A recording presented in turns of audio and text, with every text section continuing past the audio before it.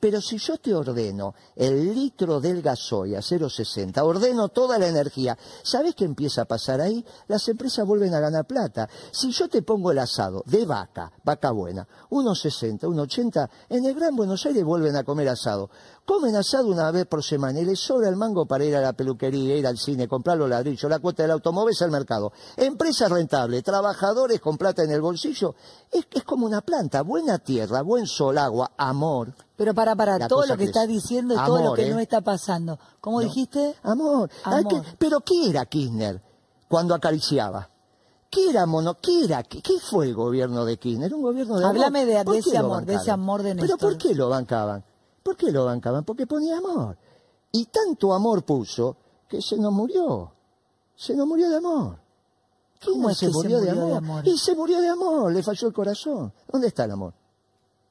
Se murió de amor, si no se tenía que morir a esa edad. Se murió del amor a su pueblo. Se murió por... Tanto amor puso, tanto amor puso, que no aguantó. Pero eso fue. Acababa de salir de la clínica. Mira esa Y- foto. Acababa de salir de la clínica. Y bueno, el otro con la manita, el otro se mueve, le molesta. Y bueno, qué sé yo.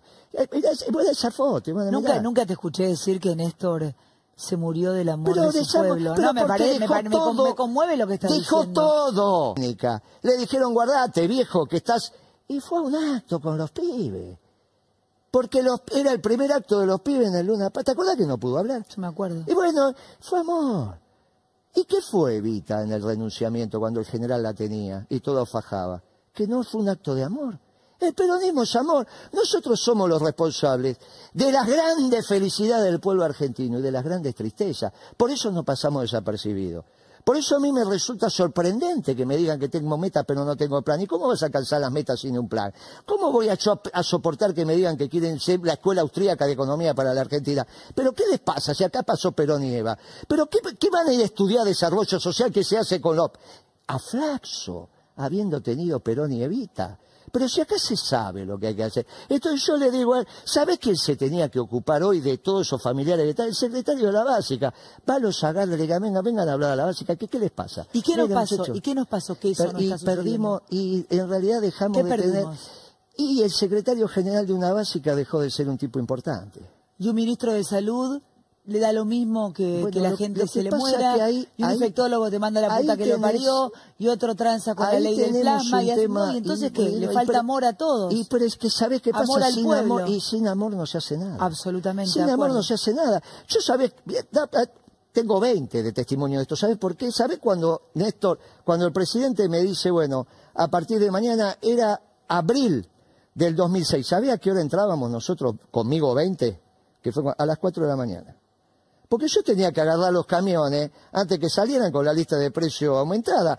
Ahora, viste que los empresarios se quejaban, que los llamaba a las 5 de la mañana, a las 6, ¿te acordás? Entramos a la... Ahora vos te pensás que 20 van a venir porque tenés un sueldito más o un sueldito menos, era por amor, por militancia, por un proyecto colectivo. Ahora vos hablas de amor El día que y te nosotros- asocian con la violencia. Hablas de amor Y y, yo bueno. siento que lo que falta es mística. bueno, pues, No se asocia con la violencia, pero nosotros no hay una sola denuncia de eso. Ahora, estaba claro, ¿cómo paramos nosotros la corrida del 2011? Armamos los 12 muchachos, los cité, le, les llamaba a Los Ángeles. Mire, muchacho, vos vas a ver a esto, a esto, a esto, a esto. Le tocas el timbre, te va a salir un custodia. Le decís que viene de parte de Moreno, no te van a creer. Le decís, llame a este teléfono, que es mi privada. Atendía a mi secretaria y le decía, ahí hay un hombre que dice que viene de parte de Moreno, dígame cómo se llama. Dice que se llama así, va de parte de Moreno, no cómo no. Pasa, le decía a la cueva, mira, así no es el juego. Te viene a decir, vengo de parte de Moreno, a decirte que así no es el juego. Cuando terminamos de hacer el rondín, tuvieron una semana jugando al tenis. Hicieron el campeonato de tenis la Copa Moreno. Y ya está, y paramos la corrida. La agarré en noviembre, para la primera semana de diciembre del 2011 se había terminado la corrida. No hay ni nada, fueron de parte mía a explicarle. Ahora a veces vos tenés que explicar de una manera y tenés que... La economía se conversa. Había un banquero ahí que empezó a hacer una corrida y hubo que ponerle los puntos. Octubre, noviembre del 2011.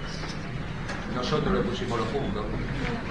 Y lo último que hicimos, que es novedoso, es empezar a caminar la calle Florida. Porque había algunos chicos ahí también que se ponían Y me acuerdo un funcionario que me llamó y me dijo, che, tengo ahí detectado, pero estamos en un lío grave porque son los muchachos del tablón son como 10, 12, 15, 18 que están sacando pecho y me echaron a la gente. Cuando yo mandé los nuestros, lo único que hicieron fue reírse un poquito y después contar las anécdotas. Porque a ser valiente también se aprende. Y en esta secretaría terminaron todos siendo muy valientes.